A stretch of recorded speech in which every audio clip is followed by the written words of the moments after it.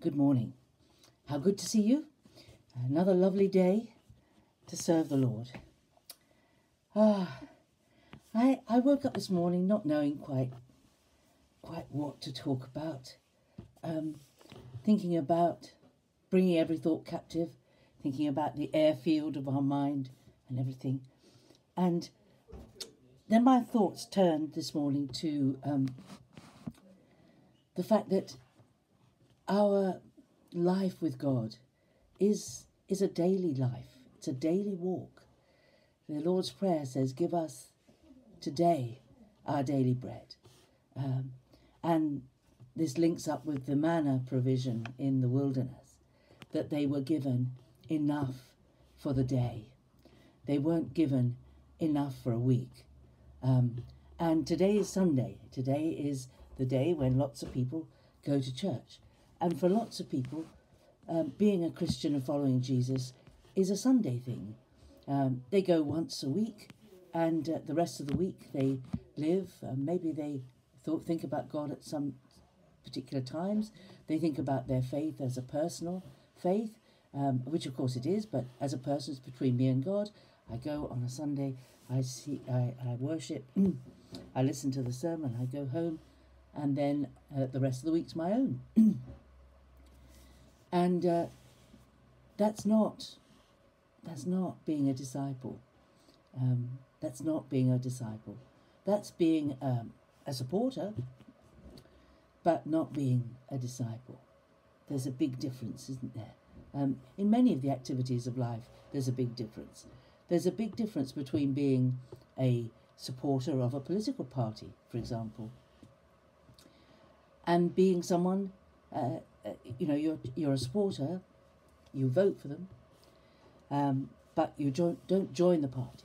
When you join the party, you put your money to it, and then you can be asked to go canvassing when the election comes up, and you're actively promoting that party. It's quite different to being just someone who puts their name to it and puts a cross in the right place on a voting paper.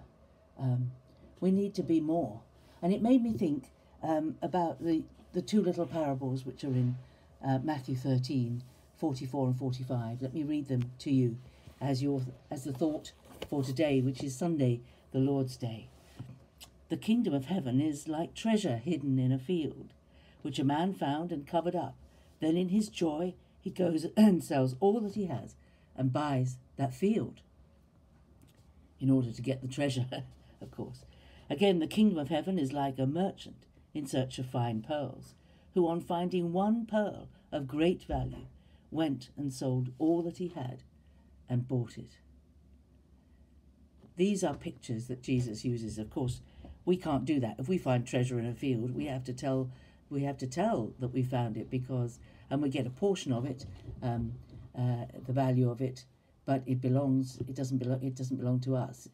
But these were different days when Jesus told these stories.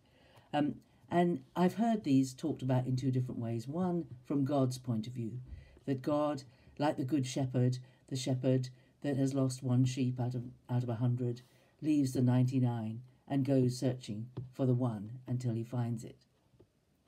Um, that this is God finding us, each of us, the treasure or the pearl, and giving everything that he has, Jesus, and, and, and his love and his everything in order to gain that prize. But I've, I've often seen these parables more to be that this is us, that I am, I am like the person who's a treasure hunter, um, who finds the treasure of Jesus, the treasure of new life, the treasure of God's love for me, finding that and being willing to sell everything else to gain that one thing. You know, Jesus said it, didn't he?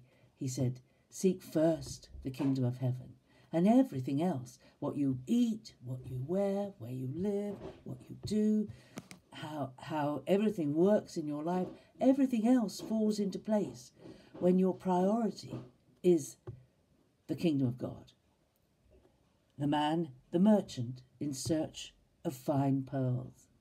He knows a good pearl when he sees one.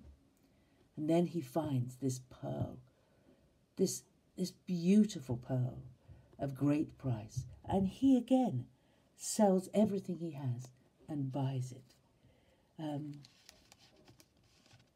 I, I've always found it really quite difficult to understand people who have their faith in God as as just a factor in their lives and not the over surpassing value in their life. Um, it's when we read great stories of missionaries, you know, who leave everything, um, Hudson Taylor, you know, or um, George Muller, uh, some of these great, um, great missionaries who find God. Um, uh, Newton as well, um, John Newton, who wrote uh, Amazing Grace. Um, he was he, he thought he knew everything about God. Um, many of them were preachers before they even encountered the Lord, and then when they encountered the Lord and knew how how amazing He was, everything else was not worth anything to them, and they they they sacrificed it all in order to serve God and to, to, love and be a servant of Jesus and to tell other people of this amazing thing that they had found, not to keep it for themselves. I mean, in these stories, these people, the, the, the man who found the pearl, he, he wouldn't have sold it. Um, he wouldn't have sold it for anything in the world.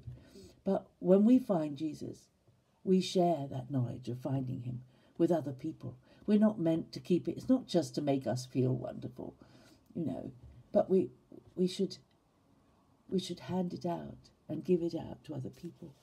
There's a there's a passive there's a pa- passive attitude around.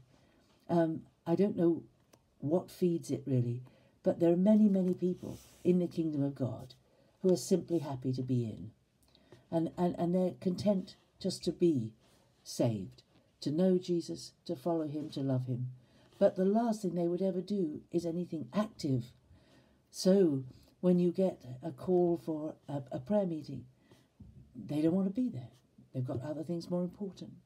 There's a call to do something like uh, we did last year in Chard, which was to offer to pray for people on the streets of Chard as a witness between um, the day of Ascension and Pentecost Sunday, 10 days to spend an hour on the streets of Chard, simply offering to pray for people. Uh, all the churches in Chard were invited to join in, but there weren't many people who did it. Everyone else didn't want to do it, thought it was far too public, far too exposed, um, not something they, they felt called to do. The same with reading the Bible outside the Guildhall. We did that the year before, or was it the year before that? I can't remember. And we all took it in turns to read a passage of the Bible. And it was very interesting that it was the same group of people who shared in that. And it was the same others who were passive and simply not interested in doing anything like that. This is something to think about. How important in your life is your relationship with Jesus? Is he the treasure that you sell everything to gain, the pearl that is more beautiful than any other pearl you've ever seen. How much do you value him? How much do you value your salvation? This is the Lord's Day. Let's worship him together. Um, whatever you're doing today, I pray that you will worship him. It's the Lord's Day. Um, it's a day perhaps to have communion, you and your those who live in your household. Um, and have a great day. Think about what's most important to you and what your faith means to you today. And I'll see you tomorrow. Bye.